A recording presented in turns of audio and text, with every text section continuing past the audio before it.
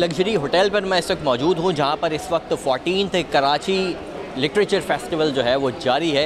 और यहाँ पर हम लोगों से बात करेंगे और यहाँ पर कुछ एक प्रोग्राम्स भी रखे गए हैं, कुछ वर्कशॉप्स रखी गई हैं। उनकी भी कुछ झलकियाँ दिखाते हैं तो अंदर चलते हैं, लोगों से बात करते हैं, तासुरात लेते हैं इस फेस्टिवल के बारे में, लोगों क्या कहते हैं। और कराची वालों के लिए ये जो एक पुरमसरत मौका है, कराची के अंदर हालात आपको पता है कि किस तरह के चल रहे हैं, लोग परेशान हैं। ऐसे में इस तरह के जो फेस्टिवल्स होते हैं इस तरह के इवेंट्स जो होते हैं वो कराची वालों के लिए कुछ ना कुछ खुशी का बायस बनते हैं तो अंदर चलते हैं लोगों के तासुरात जो है वो इस फेस्टिवल के बारे में जानते हैं आइए I just want to understand uh, the logic behind the price of this book. This is so expensive. I agree with you. It is very expensive, and uh, I.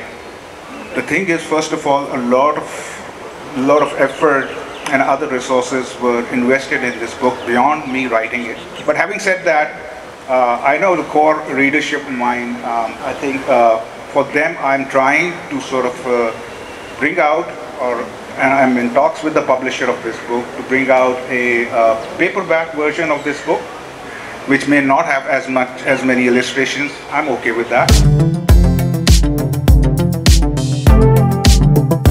Festival जो है ये रूह की गज़ा हैं और उनको लोगों के लिए और ज़्यादा मतलब जैसे कहते हैं एक्सेसिबल होना चाहिए और यानी एक दूसरी इस हिसाब से भी कि किताब जो हैं जो यहाँ पर लॉन्च होते हैं वो कुछ अर्जान हों और सस्ते हों तो मतलब लोगों के लिए और ज़्यादा हो।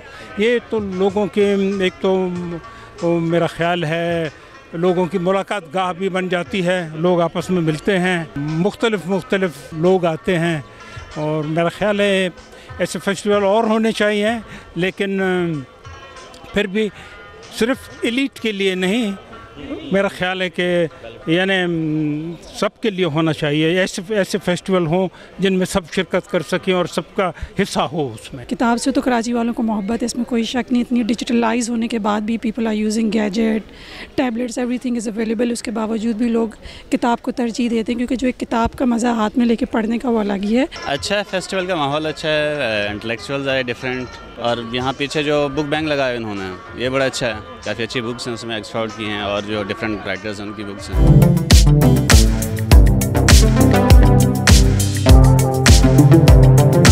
हम ये समझते हैं कि डेफ़िनेटली हर दौर में और हर उम्र के अफराद के लिए ख़वातीन हैं, मर्द हैं स्टूडेंट्स हैं हर सतह पे किताब की ज़रूरत और उसकी अहमियत मुसलम है और हर दौर में रही है। और यकीनन अहल कराची भी जो हैं, वो इल्म दोस्त हैं, अपनी एक पहचान रखते हैं। मजमू तौर पे मेरा एक राय ये है कि अब शायद उस तरह से वो तादाद नहीं रही जो कि बाकी हमें ऐसे स्टॉल्स का रुख करती हुई नज़र आए। डेफिनेटली उसकी एक बहुत बड़ी वजह टेक्नोलॉजी और ये सारी ऐप्स और डिवाइसेस भी हैं। होना चाहिए ऐसे प्रोग्राम करना चाहिए। नई जनरेशन के लिए ये और ज़्यादा प्रोग्राम्स होने चाहिए ताकि उनको पता चले अपने लेजेंड्स के बारे में। अभी तो बहुत सारे लोग ऐसे हैं जिनको हमारे बच्चे पहचानते भी नहीं हैं। ऐसे फेस्टिवल जो होंगे तो नौजवानों के अंदर जो मायूसीपन है वो ख़त्म हो जाएगी और रास्ते खुलते जाएँगे। और न सिर्फ़ ये बलूचिस्तान दूसरे सूबे, बल्कि पूरे पाकिस्तान के लिए ये बेस्ट है। इससे अदब को फ़रोगत मिलती है कल्चर को फ़रोगत मिलती है, इससे जो नौजवान, उनका काम उभर कर सामने आ जाता है। सो बेस्ट है। इंजॉय कर रहे हैं ऐसे फेस्टिवल्स होने चाहिए।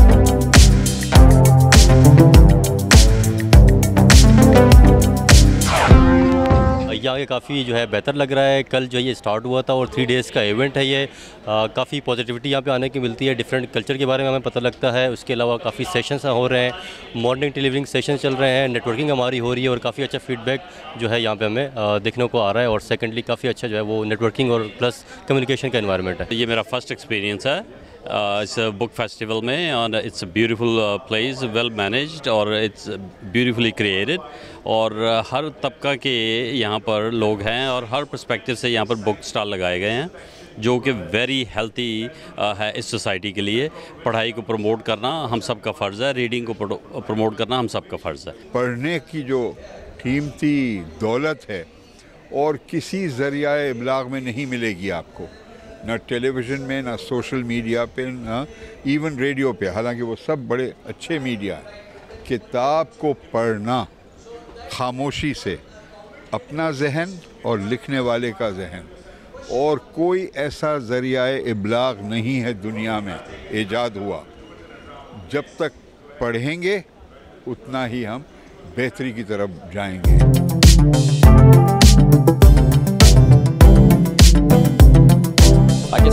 और ख़ास तौर से कराची के जो हालात हैं, वो आवाम को रोज़ बरोज़ जहनी मरीज़ बनाते जा रहे हैं। ऐसे में इस तरह के फेस्टिवल्स का इनका आवाम को इस हीजान से बाहर निकालने में अहम किरदार अदा करता है। यहाँ पर मौजूद लोगों से जब हमारी बात हुई तो उन सब का यही कहना था कि ऐसे फेस्टिवल से पॉजिटिव वाइब्स मिलती है, जिनसे इन सर्कमस्टांसिस में रिकवर होना आसान हो जाता है। कैमरामैन जीशान शेख के साथ मोहम्मद साद असलम, राह न्यूज़ कराची।